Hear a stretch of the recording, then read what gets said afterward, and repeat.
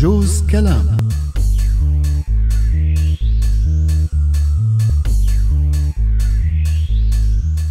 أم جوزيف بدي أعمل قهوة تشربي معي؟ إيه والله بدها فنجان قهوة. شو هاد؟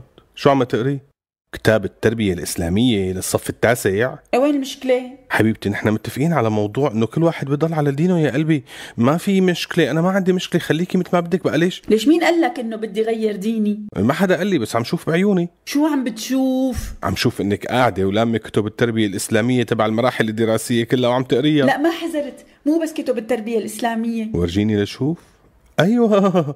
وكتب التربية المسيحية. أيوه لا. هلأ أنا ما عاد فهمت. شو عم بيصير معك حبيبتي؟ أنت منيحة؟ إيه إيه منيحة. وكل شيء عم بيصير معي. إني قريت شيء على الفيسبوك عم بيقول إنه موجود بمناهج التربية الإسلامية. والشيء اللي قريته بحرض على التطرف. فعم دور بكتب التربية الإسلامية لأتأكد إذا هالحكي موجود فعلا أو لا.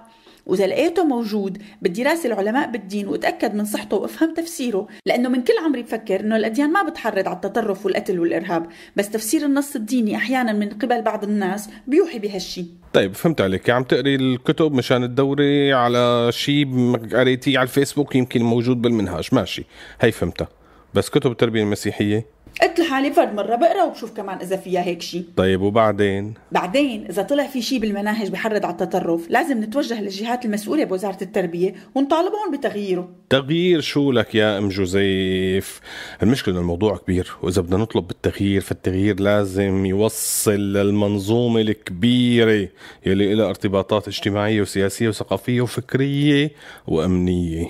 إيه بعرف بس بنعمل اللي بنقدر عليه ومنبلش بالمناهج. على القليلة بنحاول نحمي الجيل الجديد. طيب ولقيتي شيء لهلأ لا.